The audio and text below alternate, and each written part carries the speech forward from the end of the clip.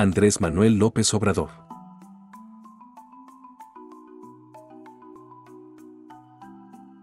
Esto soy.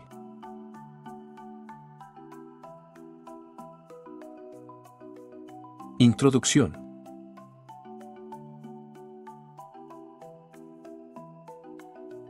Elaboré este pequeño texto como guía para la realización del documental Esto Soy, producido por Epigmenio Ibarra. Sin embargo, por razones de tiempo y por tratarse de otro género, en el audiovisual no se reprodujo ni completo ni literal, por eso decidimos publicar dicho escrito acompañado de imágenes. La edición estuvo a cargo de Jesús Ramírez Cuevas y las fotografías fueron aportadas por familiares y amigos, y recolectadas por Laura González Nieto. Espero que este testimonio ayude a contrarrestar fobias y malos entendidos sobre mi persona y sirva para convencer de que nunca hemos hecho mal a nadie y que nuestro único propósito ha sido, es y será ayudar a levantar a México y a su admirable y desdichado pueblo. Capítulo 1.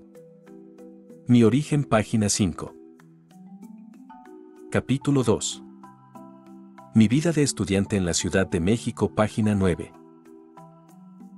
Capítulo 3. Mi primer trabajo en comunidades indígenas, página 13. Capítulo 4. El éxodo por la democracia, página 17. Capítulo 5. Mi desempeño como jefe de gobierno de la Ciudad de México, página 27. Capítulo 6. Dos veces candidato a la presidencia de la República, página 44. Capítulo 7. La corrupción, el principal problema de México, página 45. Capítulo 8. La salida, honestidad y austeridad, página 55. Capítulo 9. El proyecto de transformación, página 61. Capítulo 10. A Palacio o a la chingada página 67.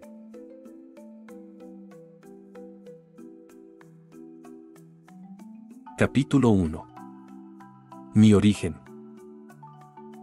Soy de Tepetitán, Macuspana, Tabasco. A ese pueblo llegaron a radicar mis abuelos maternos. En España los nombres antiguos tenían que ver con el oficio de la gente, por eso los apellidos Zapatero, Carpintero, pescador, obrador. Mi bisabuela materna, originaria del Cantábrico, se llamaba Felipa Revuelta. Mis abuelos paternos eran veracruzanos, corría por sus venas sangre blanca, india y negra. A mucho orgullo, jarochos de la cuenca del río Papaloapan. Mi papá llegó a Tepetitán en 1952 como trabajador petrolero. Mi madre, Manuelita, estaba dedicada a atender la tienda de mi abuelo. Manuelita siempre fue comerciante. De joven se embarcaba en un cayuco, una canoa hecha de un gran árbol hueco, y viajaba vendiendo mercancías en todas las rancherías ubicadas a la orilla de ríos, arroyos y lagunas. Cuando regresaba a Tepetitán traía el cayuco lleno de maíz, frijol, arroz y cerdos. Antes predominaba el trueque o intercambio de productos. Nací el 13 de noviembre de 1953. Estoy orgulloso porque dos siglos antes, en 1753, Nació Miguel Hidalgo y en 1853, José Martí. Por eso me gusta cuando canta Ana Belén, yo también nací en el 53, en especial el verso que dice, que te puedo decir que tú no hayas vivido, que te puedo contar que tú no hayas soñado. Estudié la primaria en la escuela que lleva el nombre de un gran escritor tabasqueño, Marcos E. Becerra. Recuerdo a mis maestras y maestros con cariño, a la maestra Guadalupe Antonio de la Cruz y al maestro Joaquín González Paz, quien además de profesor era beisbolista. La secundaria la inicié en Macuspana y la terminé en Villahermosa. Ya he contado cómo me indujo a las ciencias sociales mi maestro de civismo, Rodolfo Lara Laguna, un liberal social, congruente, honesto, un idealista de ayer, hoy y siempre.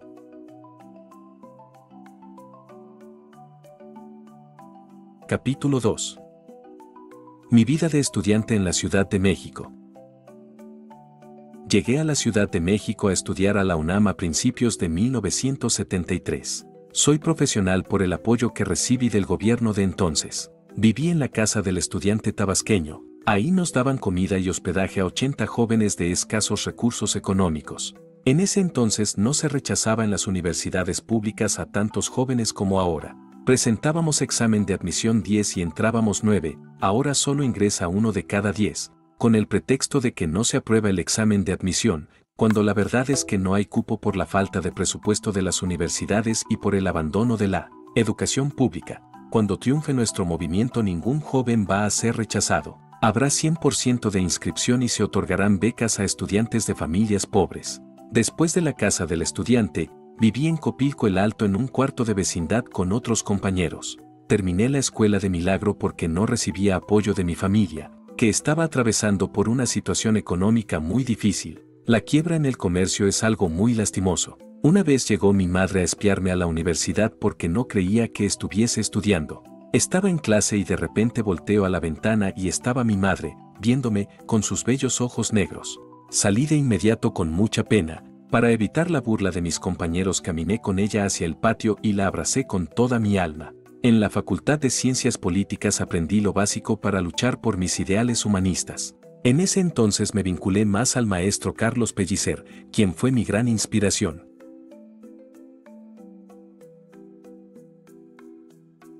Capítulo 3 Mi primer trabajo en comunidades indígenas. Cuando terminé la universidad regresé a Tabasco. El primer trabajo que tuve fue de director del Centro Coordinador Indigenista Chontal. Estuve en ese cargo de 1977 a 1982. En ese entonces me casé con Rocío, nació nuestro primer hijo José Ramón y vivimos en Nacajuca. En las comunidades indígenas me formé como luchador social. En la zona maya chontal tomé conciencia de lo que es trabajar desde abajo y con la gente pobre. Por ejemplo, en Tucta construimos los camellones chontales, algo parecido a las chinampas del altiplano. Me siento orgulloso porque se ayudó mucho a la gente. Se adquirieron los mejores ranchos para entregarlos a quienes vivían refugiados en las zonas bajas o pantanosas.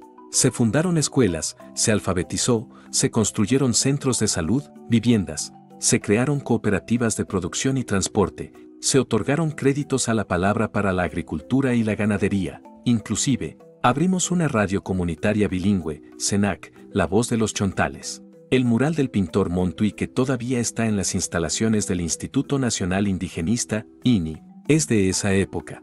Estaba arrumbado en una bodega del gobierno del estado y se colocó con una leyenda que no aplica ahora del todo, porque los animales, como está demostrado, se hallan dotados de emociones, como los humanos.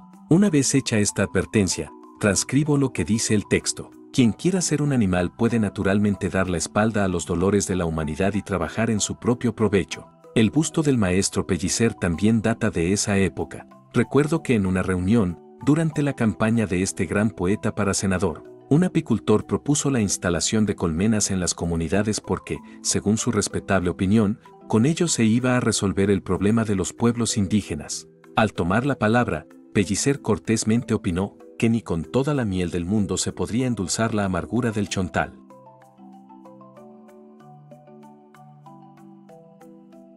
Capítulo 4 El éxodo por la democracia cuando decidí enfrentar al régimen, el trabajo que había hecho en la zona indígena me permitió contar con el apoyo de la mayoría de los chontales. No es cierto lo que dicen algunos insensatos de que el pueblo es mal agradecido. Los indígenas fueron los primeros en respaldarme en 1988, cuando fui candidato del Frente Democrático Nacional a la gubernatura de Tabasco. Aquello fue todo un desafío.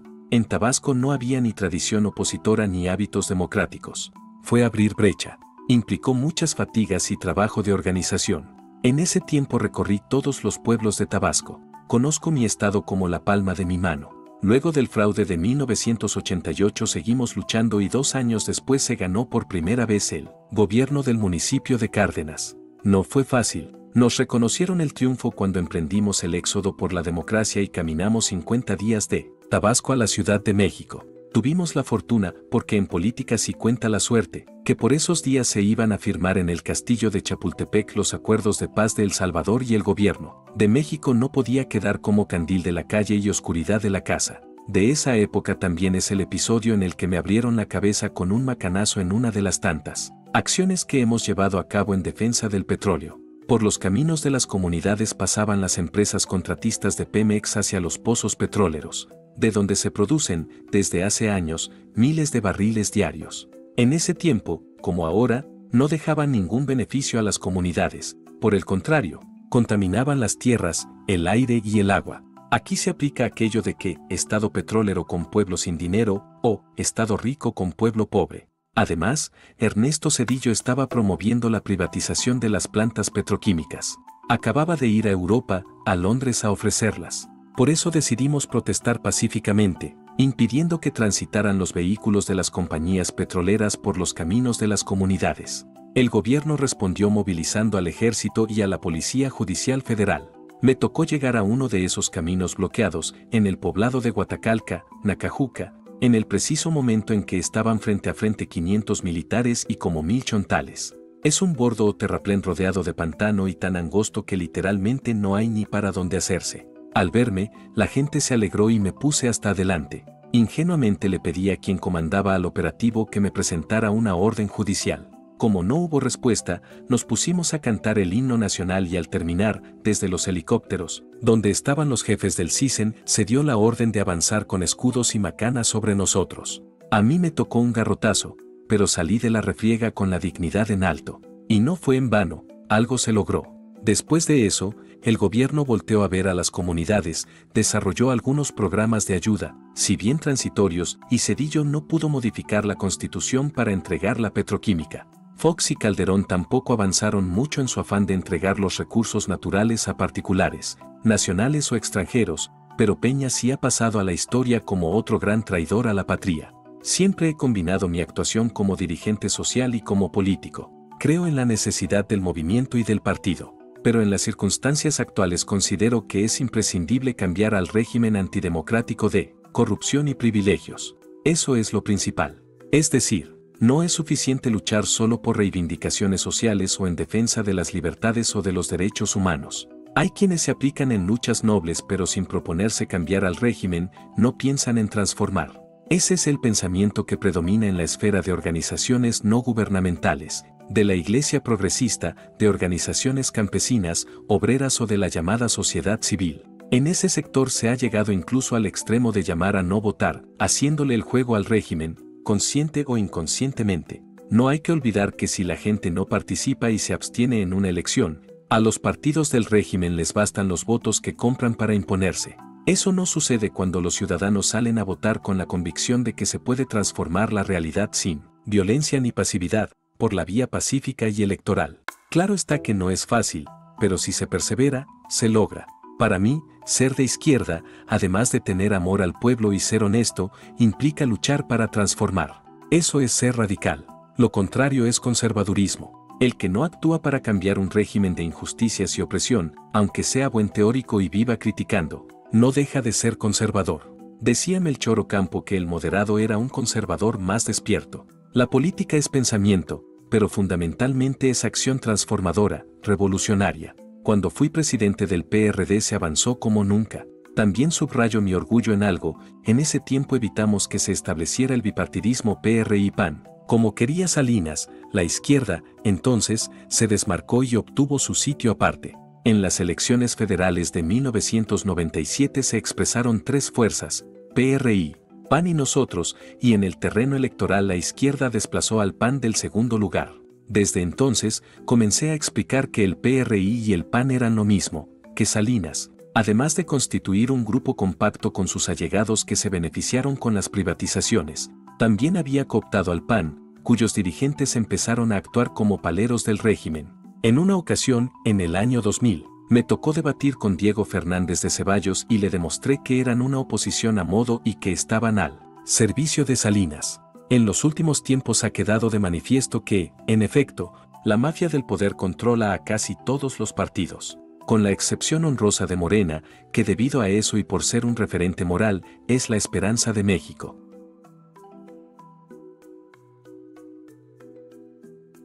Capítulo 5 Mi desempeño como jefe de gobierno de la Ciudad de México. Luego de ser opositor, el 5 de diciembre del año 2000 tomé posesión como jefe de gobierno de la Ciudad de México. El primer día salí al balcón de mi oficina en el antiguo ayuntamiento y miré hacia la plancha del Zócalo, donde había estado muchas veces protestando, como para no olvidar de dónde venía. En mi desempeño como jefe de gobierno apliqué la fórmula que un día pondré en práctica en toda la República. Consiste en evitar la corrupción y gobernar con austeridad para utilizar por completo el presupuesto en beneficio de la gente. Actuando con honestidad impedí que se robaran, como era costumbre, miles de millones de pesos y se acabó el derroche en el gobierno. Se hicieron muchas cosas, escuelas preparatorias, la Universidad Autónoma de la Ciudad de México, hospitales, plantas de bombeo para evitar inundaciones, abasto de agua. En materia de transporte público se compraron 40 trenes para el metro, se inició el Metrobús, se adquirieron autobuses para dar servicio eficiente y barato en colonias populares. El Turibús se hizo permanente la licencia de manejo, se establecieron las centrales de bomberos, se construyeron avenidas, túneles, segundos pisos y reclusorios, se impuso el control del uso de suelo, se otorgaron créditos a la palabra para pequeños empresarios y, como nunca, hubo apoyos para la ampliación. El mejoramiento y construcción de viviendas en beneficio de la gente pobre, se remodelaron el Paseo de la Reforma y el Centro Histórico, se implantaron los programas de útiles escolares gratuitos, becas, apoyo a discapacitados, a madres solteras y pensión a los adultos mayores. Todo ello se logró sin aumentar impuestos y sin endeudar a la ciudad, es decir, no se cobró más por el agua, por el predial y por derechos. Se redujo en un 30% la incidencia delictiva. Todos los días, a las 6 de la mañana, sostuve reuniones con los integrantes del Gabinete de Seguridad, el procurador, el secretario de Gobierno, el de Seguridad Pública, entre otros funcionarios recibíamos el parte de la policía sobre los delitos cometidos en las 24 horas anteriores y se toma, van decisiones. También creamos 70 coordinaciones territoriales para garantizar la seguridad en la ciudad. En estos sitios también se reunían todos los días ministerios públicos, jueces, jefes de sector de la policía preventiva, auxiliar, bancaria y ministerial, así como representantes ciudadanos. En suma, había coordinación y perseverancia. Nunca hubo represión, un motín en los reclusorios, un choque en el metro, incendios o inundaciones. Tuvimos la suerte de no padecer de temblores fuertes ni desgracias mayores. Hay constancia que cuando goberné, la gente se sintió libre y satisfecha con mi gestión. Por eso me defendieron cuando el desafuero. Fox y la mafia no pudieron con su maniobra de enjuiciarme por, supuestamente, desobedecer a un juez que me ordenó parar la construcción de un camino que comunicaba a un hospital. La verdad es que esa fue la excusa que esgrimieron para tratar de evitar que mi nombre apareciera en la boleta electoral en las elecciones presidenciales del 2006. Pero la gente de la Ciudad de México, que está llena de bondad y de sabiduría política, me sacó adelante. Siempre mi principal defensor ha sido el pueblo.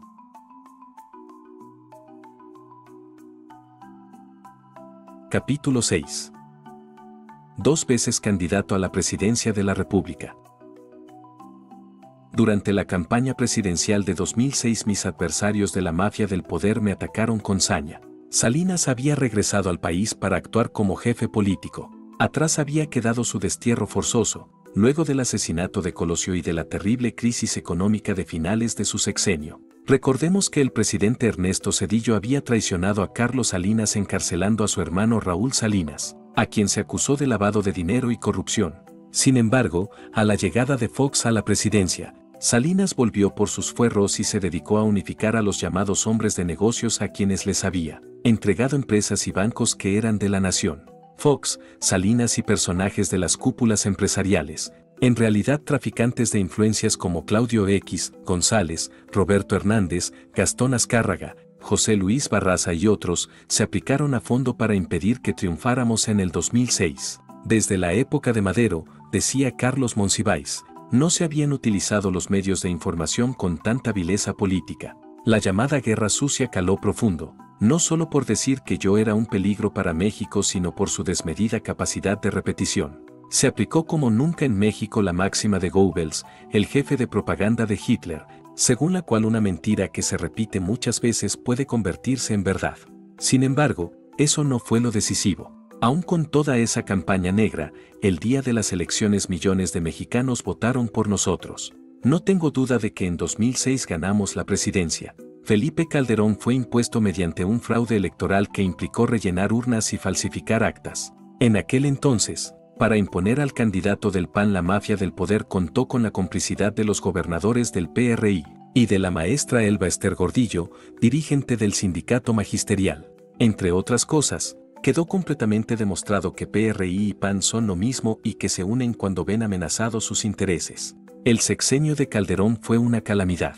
Recibió dinero del petróleo como ningún presidente en la historia. Todo lo derrochó, aumentó el gasto corriente al doble, lo mismo que la deuda pública, que pasó de 1.7 billones a 5.2 billones. Además, la corrupción se hizo evidente hasta en la construcción de la llamada Estela de Luz, por la cual cobraron tres veces más de lo programado. En un breve recuento de inmoralidades menciono que Calderón entregó contratos por más de 2 mil millones de dólares a la empresa de oceanografía de Amado Yáñez Osuna, que sobornaba a funcionarios con relojes de la marca Audemars Pishua, que costaban un millón de dólares. También tuvo como empresas favoritas a las españolas Repsol e Iberdrola. Ahora la segunda lo tiene contratado como integrante en su consejo de administración. Agréguese su vinculación con Odebrecht, la compañía brasileña de los sobornos. De igual manera, existen pruebas que uno de sus cuñados, Hildebrando Zavala, que le ayudó a perpetrar el fraude de 2006, aprovechó sus influencias para venderle a Carlos Slim el 77% de las acciones de su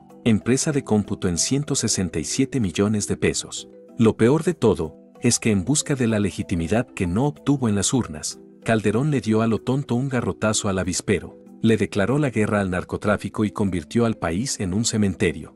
No olvidemos que, desde su imposición a la fecha, porque Peña siguió con la misma estrategia, han ocurrido 215.000 asesinatos, que la violencia se ha cobrado un millón de víctimas y que México ocupa, según un instituto internacional, el segundo lugar en violencia en el mundo.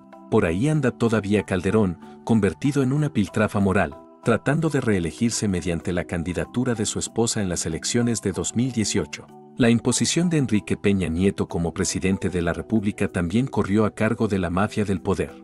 Peña es producto de la publicidad, es un personaje vacío que fue encumbrado por los medios de información, en particular, por Televisa. Mientras a mí en ese tiempo me negaron la posibilidad de comunicarme por periódicos, radio y televisión, Peña Nieto fue proyectado como una gran figura pública, entonces, hasta los comunicadores más abiertos nos negaban entrevistas. Si acaso pagaban su cuota de independencia permitiéndonos hablar cada seis meses o una vez al año. La consigna era silenciarnos. Aún así, trabajando desde abajo, rompimos el cerco informativo y nos recuperamos de los efectos de la guerra sucia. En ese entonces recorrí todo el país. Es para mí un timbre de orgullo poder decir que, como nadie, conozco todos los municipios de México y los he visitado más de una vez.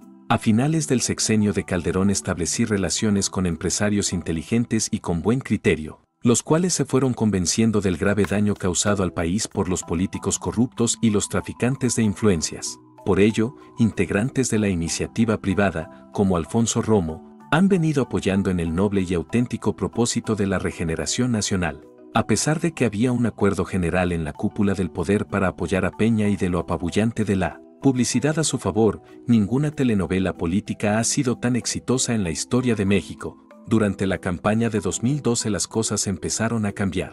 Se demostró desde entonces que el Peña Real no sabía enfrentar adversidades. Así quedó de manifiesto cuando en la Feria del Libro de Guadalajara confesó que no era lector de libros y cuando, unos meses después se confrontó con los jóvenes de la Universidad Iberoamericana, de esta forma y con el entusiasmo de quienes siempre nos han apoyado por convicción, de manera voluntaria, fuimos remontando la desventaja ante Peña y sus patrocinadores. Al final de la campaña, cuando estábamos empatados en intención de votos, la mafia echó a andar un operativo que consistió en sumar a los dirigentes del PAN a la campaña de Peña Nieto. Tanto Fox como Calderón se definieron por cerrarnos el paso.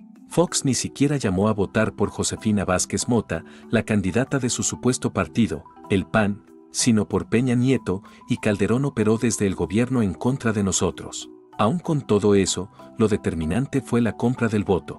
En vísperas de las elecciones, los gobernadores del PRI se reunieron en Toluca y cada uno de ellos se comprometió a destinar dinero del erario para comprar conciencias y lealtades en favor de Peña. Así se consumó el fraude en 2012. Los resultados de esa imposición están a la vista. Peña es un presidente ninguneado hasta por los que lo impulsaron y lo repudia la inmensa mayoría de los mexicanos. Luego del fraude de 2012 algunos opinaban que debía retirarme. Mis malquerientes sostuvieron que estaba viejo y políticamente acabado. Inclusive llegué a pensar en esa posibilidad y en afirmar en el zócalo. Quise ser como Juárez, como Madero, como el general Cárdenas y no pude o no quiso la gente, Tenía ganas de exclamar, voy a luchar toda mi vida por mis ideales pero ya no volveré a ser candidato a nada, me retiro como dirigente político. Y va a ser para mí un motivo de orgullo el poder decir a mis adversarios, ya ven, no soy un ambicioso vulgar, no estoy obsesionado con ser presidente, pero al mismo tiempo pensé en mi responsabilidad como dirigente en momentos en que todavía no había reemplazo, y cuando aún podía ser útil al frente del movimiento de transformación nacional. Por ello decidí permanecer activo en la política. Fue así que fundamos un instrumento nuevo de lucha, Morena. Había padecido a las burocracias corruptas de los partidos llamados de izquierda, en especial a los dirigentes del PRD, y era indispensable deslindarnos de todos ellos y fundar una nueva organización política. Así lo hicimos. Morena es una corriente de aire fresco, limpio. Con el tiempo se ha convertido en la única esperanza del pueblo de México. Junto con Morena ha surgido un fenómeno, también del todo nuevo, importantísimo, el papel liberador de las redes sociales. Esto ha sido como una bendición y por eso ahora hay condiciones inmejorables para el triunfo.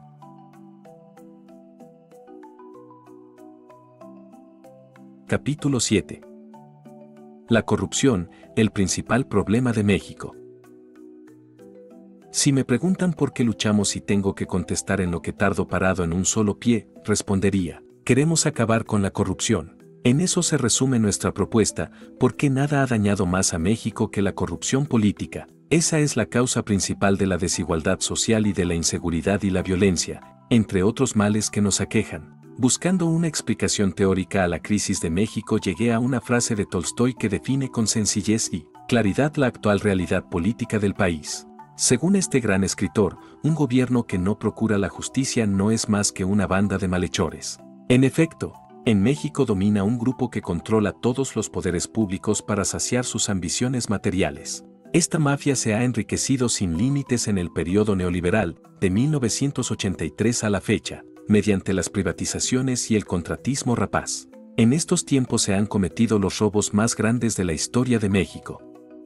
Carlos Salinas entregó bancos y empresas públicas a sus allegados. Ernesto Cedillo vendió los ferrocarriles nacionales y rescató a banqueros, convirtiendo sus deudas privadas en una deuda pública de un billón de pesos. Vicente Fox concedió privilegios fiscales a quienes le ayudaron a ganar la presidencia y condonó impuestos a los que en teoría son grandes contribuyentes. Felipe Calderón concesionó 24 millones de hectáreas del territorio nacional a empresas mineras, nacionales y principalmente extranjeras, es decir, enajenó más del 10% de la superficie del país. Para tener una idea de la magnitud de esta decisión, recuérdese que el presidente Cárdenas entregó 18 millones de hectáreas a un millón de familias campesinas y, que Calderón lo superó, claro está, en sentido opuesto, en beneficio de un puñado de particulares. Por si fuera poco, este pequeño usurpador se distinguió por proteger a empresas extranjeras del sector energético como Repsol, Iberdrola y Odebrecht, y al igual que Cedillo,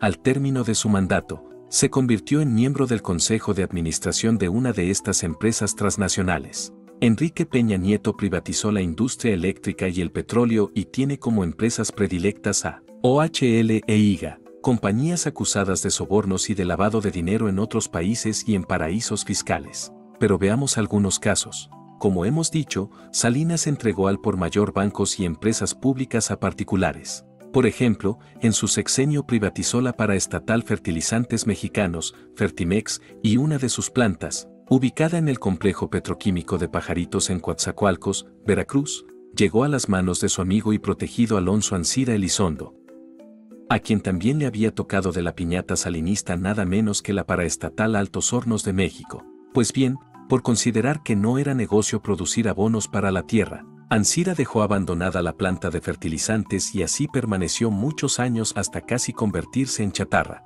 Pero en 2014 Peña Nieto decidió comprarla para volver a convertirla en empresa pública. Es probable que este jugoso negocio cupular lo hayan protagonizado Salinas y Peña con intermediarios de sus confianzas. La planta valía 50 millones de dólares a lo sumo, básicamente por el terreno y el muelle pero existen documentos que indican que Ansira obtuvo en pago 273 millones de dólares. Además, Pemex, que recibió las instalaciones, ha invertido 500 millones de dólares más en su rehabilitación sin que hasta ahora la planta produzca fertilizantes. Se trata de una gran estafa con pérdidas para el erario de cuando menos 15 mil millones de pesos, en beneficio de socios o allegados a políticos corruptos. Uno de los negocios más lucrativos de los tiempos actuales en el mundo. Otro atraco como este fue el contrato que firmó Pemex Petroquímica con la empresa Odebrecht para instalar una planta de polietileno en Anchital, Veracruz. En los tiempos de Calderón esta empresa brasileña, acusada de entregar sobornos a políticos de varios países del mundo, incluido México, obtuvo el compromiso de Pemex de abastecimiento de gas etano, procedente de los pozos petroleros del sureste de México, a precio preferencial, es decir, con subsidio.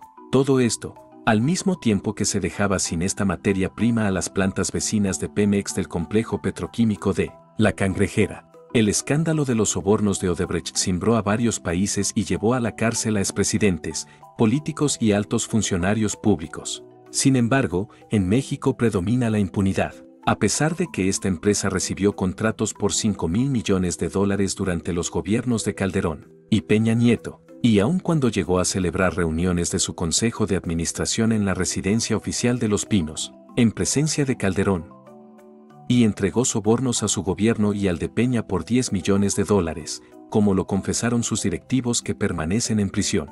Es también un descaro el contratismo imperante en el gobierno de Peña Nieto. La empresa OHL ha recibido concesiones de dudosa legalidad, por decirlo menos. Es conocido que obtuvo el contrato de construcción del segundo piso en el Estado de México, cuando Peña era gobernador, con una licitación en cuyo dictamen se asegura que la compañía ibérica cobraba más por el peaje que la empresa competidora, pero su proyecto era arquitectónicamente más acorde con el paisaje urbano. Lo mismo sucedió con el fallo en favor de OHL para la concesión de la autopista Tizapán-Tlacomulco, en el cual se descalifica a la otra empresa que concursaba con el supuesto de que no tenía solvencia económica, aun cuando es propiedad de Carlos Slim, uno de los hombres más ricos del mundo. Pero la compañía más emblemática del influyentismo en México es la denominada Grupo IGA. Su dueño, Juan Armado Hinojosa, es socio de Peña Nieto en el sentido amplio de la palabra. Entre ambos hay relaciones de amistad y de negocio desde que Peña gobernó el Estado de México. Conservan vínculos en contratos,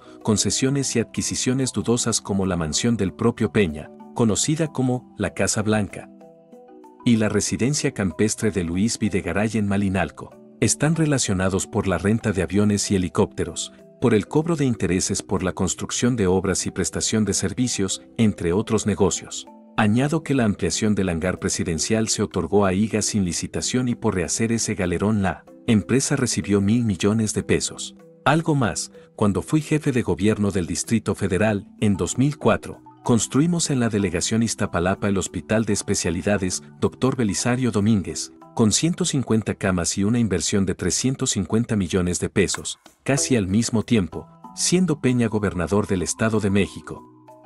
Construyó con Grupo IGA el hospital del municipio de Zumpango, de 125 camas, con un costo de 7 mil millones de pesos, es decir, 20 veces más caro que el hospital de Iztapalapa. Es importante subrayar que además del gran margen de corrupción, la obra de Zumpango se encareció por el sistema de financiamiento utilizado. El entonces secretario de Finanzas del Estado de México, Luis Videgaray, solicitó al Congreso local la aprobación de un contrato por el cual se le entregaba a Hinojosa, por concepto de capital e intereses, 282 millones anuales y así será durante 25 años. Este esquema denominado PPS Proyectos para Prestación de Servicios. Fue una invención del grupo de tecnócratas salinistas de la Secretaría de Hacienda en los tiempos de Calderón, para comprometer o hipotecar las participaciones federales de estados y municipios. En poco tiempo, el mecanismo ha llevado a la quiebra por endeudamiento sin medida a varios gobiernos locales. Pero aunque parezca increíble,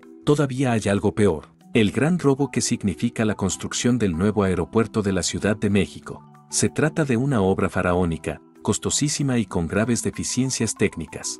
Es cierto que se necesitan dos pistas más para resolver el problema de la saturación del actual aeropuerto, Benito Juárez de la Ciudad de México, pero como hemos propuesto, estas se podrían construir en el aeropuerto militar de Santa Lucía. La obra impulsada por el gobierno de Peña obligaría a cerrar, por interferencia aérea, la terminal actual y la de Santa Lucía. Estamos hablando de tirar a la basura miles de millones de pesos.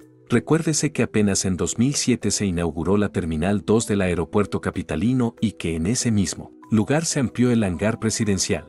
Si al costo de estas obras se suma las pérdidas que representaría el cierre del aeródromo de Santa Lucía, que ocupa 3.000 hectáreas, estaríamos hablando de un despilfarro mayúsculo que redundaría en beneficio de la especulación inmobiliaria, pero que no traería aparejada utilidad pública alguna y sí una grave afectación social y ambiental en la zona, así como severos problemas de operación del aeropuerto mismo. Nuestra propuesta alterna significa no gastar 180 mil millones de pesos en la construcción del nuevo aeropuerto, con una inversión de 65 mil millones aplicados a las dos pistas adicionales de Santa Lucía, el país ahorraría más de 100 mil millones de pesos.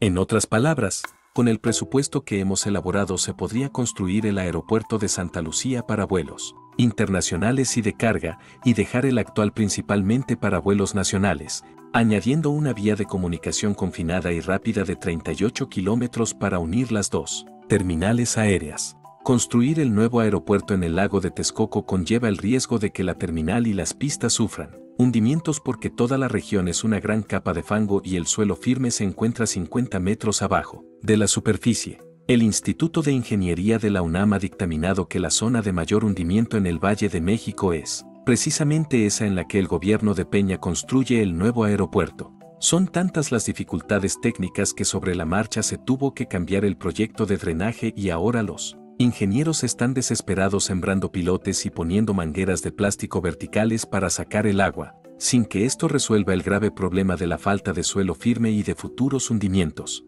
En fin, la obra es ya un rotundo fracaso técnico que solo podría continuar con un costo elevadísimo para las finanzas públicas y por la corrupción más descarada de que se tenga memoria. Ante esta grave situación, aún enfrentando toda la propaganda de descrédito hacia nosotros, reafirmamos nuestro compromiso de parar este proyecto bajo los siguientes lineamientos. Se utilizará el terreno para fines de protección del medio ambiente, el deporte y la recreación.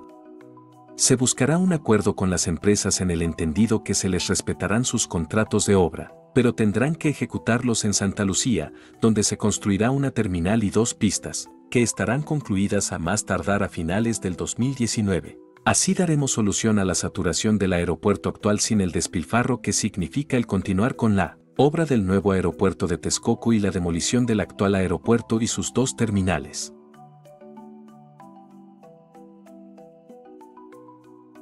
Capítulo 8. La salida, honestidad y austeridad. Así como estoy convencido que el principal problema del país es la corrupción, de igual manera sostengo que erradicar por completo este mal permitirá el renacimiento de México. La fórmula es sencilla pero eficaz y, sobre todo, transformadora. Consiste en gobernar con el ejemplo, desterrar la corrupción, abolir la impunidad, actuar con austeridad y destinar todo lo que se ahorre a financiar el desarrollo del país.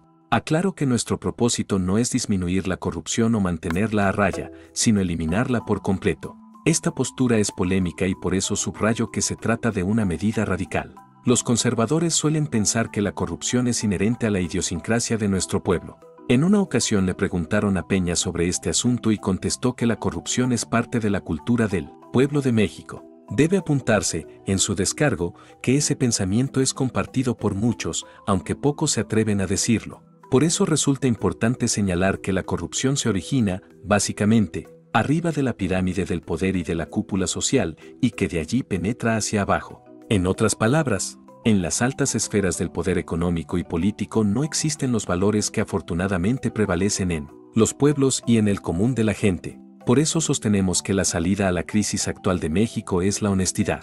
En consecuencia, me he propuesto convocar al pueblo para convertir esta virtud en una forma de vida y de gobierno. No es un ideal inalcanzable o algo ajeno, no se trata de una costumbre exótica, por el contrario, la honestidad es un valor inherente a nuestras culturas. Se requiere simplemente de voluntad política para exaltarla entre todos. Hacer la voluntad colectiva y sinónimo de buen gobierno. Además, aprovechar las bondades de la honestidad y acabar con la corrupción nos permitirá disponer de cuando menos 500 mil millones de pesos anuales, el 10% del presupuesto nacional, que actualmente se destina a pagar el moche o el chivo al bandidaje oficial.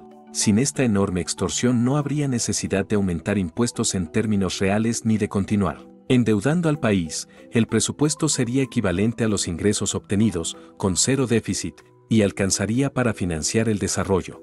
Algunos incrédulos o escépticos preguntan cómo vamos a erradicar la corrupción. Con ánimo de polemizar, les respondo, en primer término, que no es un asunto de leyes sino de voluntad política. Si el presidente es honesto los gobernadores tendrán que serlo, y así, hasta el último servidor público. Vamos a limpiar el gobierno de corrupción de arriba para abajo, como se barren las escaleras. Claro está que se van a necesitar algunas pequeñas reformas, por ejemplo, aquellas orientadas a suprimir fueros y privilegios, y a que el Poder Judicial, y no el Ejecutivo como ahora, sea el que sancione y castigue a quienes cometan actos de corrupción. También debe pensarse que vamos a gobernar con el pueblo y que los ciudadanos participarán ampliamente en esta gran campaña de moralización nacional. A esta política de cero tolerancia ante la corrupción vamos a sumar la aplicación del principio de la austeridad republicana, lo cual también nos permitirá liberar fondos para el desarrollo. En términos generales, la propuesta consistirá en reorientar el presupuesto, se reducirá el llamado gasto corriente, se terminará con el dispendio, los lujos y los privilegios de los altos funcionarios y se destinará el dinero que se ahorre a incrementar la inversión pública. También en este aspecto el ejemplo provendrá del próximo presidente. Ganaré la mitad de lo que percibe Peña, sin bonos y ninguna canonjía. No habrá nepotismo. Nadie de mi familia trabajará en la administración pública ni tendrá influencia en el gobierno. No me trasladaré en aviones o helicópteros privados. Seguiré recorriendo el país a ras de tierra, no tendré guardia especial de seguridad. Desaparecerá la oficina de espionaje político de la Secretaría de Gobernación y el Estado Mayor. Presidencial se incorporará a la Secretaría de la Defensa. No viviré en Los Pinos sino en Palacio Nacional. La residencia oficial de Los Pinos y las instalaciones adjuntas del Estado Mayor Presidencial formarán parte del espacio artístico y cultural que se conformará en esa zona de bosques, museos y monumentos históricos de la Ciudad de México.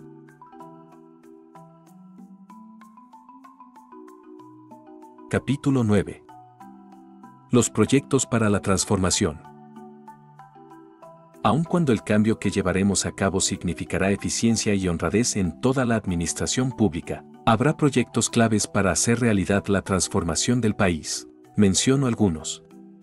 Se rescatará al campo del abandono y se buscará la autosuficiencia alimentaria. Ya no compraremos en el extranjero lo que consumimos. Ello implica, entre otras acciones, fijar precios de garantía para los productos del campo, en especial para el maíz, frijol, arroz, trigo, leche, huevo, pollo, carne de res, de cerdo y pescado. Regresar al campo nos permitirá aprovechar la mayor cantidad de recursos naturales y conocimiento que posee el país. Actualmente, en las ciudades que ocupan 10% del territorio, vive el 80% de la población, mientras en el medio rural, en 90% del territorio y donde hay mucho potencial en tierras, agua, flora, fauna y otras riquezas, solo habita el 20% de los mexicanos.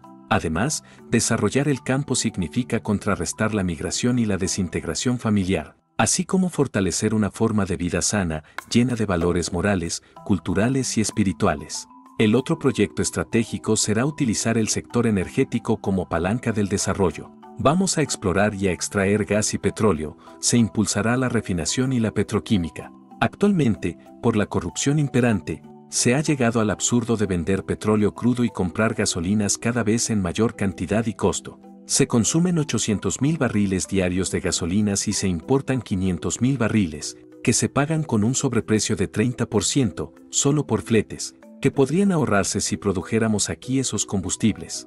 En consecuencia, vamos a modernizar las refinerías existentes y se construirán dos más, una en Atasta, Campeche y otra en Dos Bocas, Tabasco, para procesar todo el petróleo crudo y elaborar las gasolinas en México. Añado que todo el plan energético va a ir acompañado de apoyo a la investigación y a la ejecución de proyectos de energías renovables.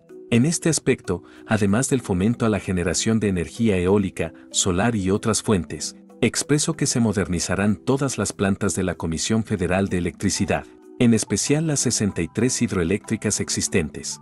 Se trata de reducir, en beneficio de los consumidores y de la industria, la compra y el subsidio que se otorga a las empresas privadas y extranjeras que venden energía a precios muy elevados a la Comisión Federal de Electricidad.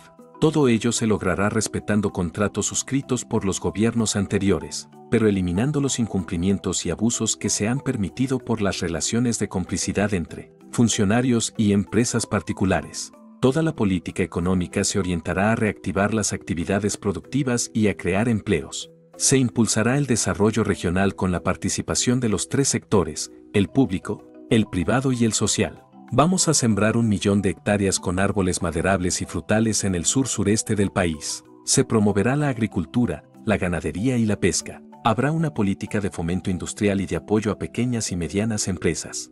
Se va a construir la nueva vía de ferrocarril de pasajeros hacia la frontera norte y el tren rápido de la ruta, Maya Cancún Tulum Calakmul Palenque. En todo el territorio nacional habrá señal de Internet, en el istmo de Tehuantepec se modernizarán los puertos de Salina Cruz y Coatzacoalcos. Se construirá un ferrocarril de carga de contenedores y en esa angosta y estratégica franja del territorio nacional, que permite comunicar a países del Océano Pacífico con la costa este de Estados Unidos, se creará una zona industrial y comercial. Previa consulta con las comunidades de la región, con el estímulo de bajos costos de energía y apoyos fiscales para arraigar a migrantes ofreciendo oportunidades de empleo bien remunerados. Se construirán, con el uso intensivo de mano de obra, 282 caminos de concreto para comunicar municipios marginados de Oaxaca. Aplicaremos un amplio programa de desarrollo urbano e introducción de servicios públicos en colonias populares, así como de ampliación, mejoramiento y construcción de vivienda en el medio rural y en las ciudades del país.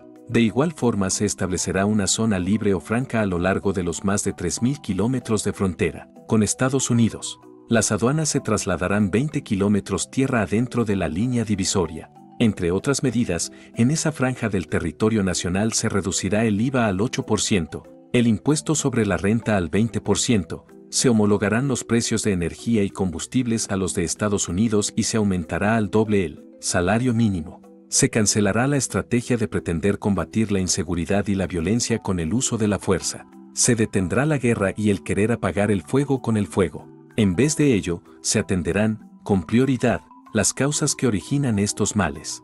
La paz y la tranquilidad son fruto de la justicia. Entre las acciones más importantes en esta materia, destaca el programa de atención a los jóvenes. En la actualidad existen 2.600.000 jóvenes que no tienen acceso al estudio ni al trabajo.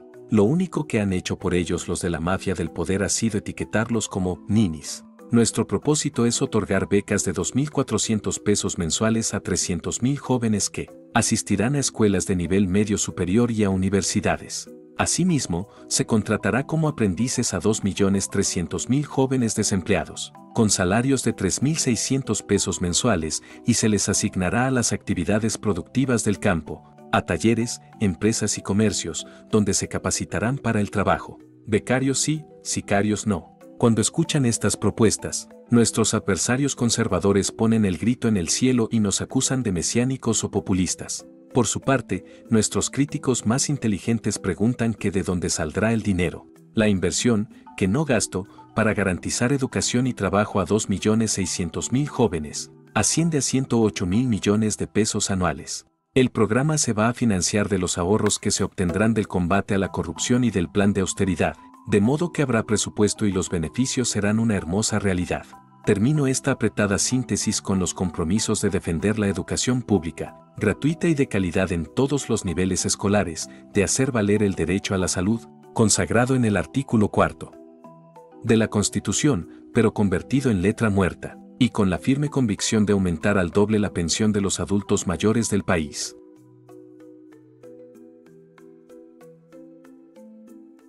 Capítulo 10. A Palacio o a la chingada. En el epílogo de mi libro, 2018, La salida, Decadencia y Renacimiento de México, hago una proyección sobre cómo sería en el 2024 nuestro país de lograrse un cambio de régimen. Parece una utopía, pero así imagino las cosas en general. Habría un crecimiento económico anual de casi tres veces más que lo obtenido durante el periodo neoliberal. Se tendría menos desempleo y mejores salarios, el campo estaría produciendo más que nunca, habría más cuidado del medio ambiente y más conciencia ecológica. Nadie estaría obligado a emigrar por necesidad. Ningún mexicano padecería por hambre ni por la pobreza extrema. Todos tendrían acceso a la educación, la salud, la recreación y la cultura. Habría menos delincuencia común, inseguridad y violencia. No se permitiría la violación de derechos humanos y funcionaría un auténtico Estado democrático de derecho. Serían garantizadas las libertades y el derecho a disentir. Estaría erradicada por completo la corrupción política y la impunidad. Se viviría en una sociedad mejor, más fraterna, más justa, más humana y más igualitaria. En fin, esto es lo que ofrece nuestro movimiento, bienestar material y bienestar del alma. Nos corresponde en este corto tiempo, de menos de un año, convencer de que nos mueve el amor al prójimo y no la ambición al dinero o la parafernalia del poder. Estamos informando, quitando miedos, porque la mafia que no quiere dejar de robar, asusta diciendo que somos mesiánicos, populistas o autoritarios, nos comparan con Maduro o con Trump. Estamos persuadiendo que el cambio será ordenado y pacífico y en beneficio de todos. Con miras al 2018 nosotros haremos lo que nos corresponde, pero será el pueblo el que decida sobre su destino. Si llegamos a Palacio Nacional por voluntad de los mexicanos, consagraré seis años más de mi vida a trabajar con intensidad por mi patria, pero, con toda franqueza, como lo he dicho en otras ocasiones, si nos gana la mafia o la gente no se decide, yo no volvería a ser candidato a nada. Reitero, seguiré luchando hasta que muera por mis ideales, pero no actuaría como líder del movimiento ni permitiría que me consideraran dirigente moral. Eso me apena. Es mejor el relevo generacional. Afortunadamente hay otros que tomarían la estafeta. Yo pasaría a ser un militante más, dedicado a otras actividades. Ahora bien, ¿qué sería de mí si no ganamos la presidencia? Me irá a vivir a la quinta, la chingada. En ese encierro verde y lleno de vida animal y vegetal, trabajaría en labores de siembra y cuidado de plantas, escribiría y saldría a dar clases de historia a jóvenes de Tabasco y de Chiapas. Tendría que convertirme en maestro para enseñar y obtener ingresos, porque no soy rico, aunque repito, para no ofender a nadie, no todo el que tiene una fortuna es malvado. Además, de esa manera, dejaría sin argumento a los conservadores que tienen como una de sus obsesiones, estar preguntando acerca de qué vivo, si no trabajo. Así, cuando menos, les podría estar diciendo que vivo del oro de Palenque. En la chingada siempre he tenido la quietud necesaria para el quehacer intelectual. Ahí hice mi discurso del desafuero y he escrito borradores y varios de mis libros. Podría, también, jugar dominó con Beatriz y con mis hijos y practicar otra de mis pasiones, el béisbol. En fin, este es mi plan B, pero todo será como el pueblo mande y como Dios quiera.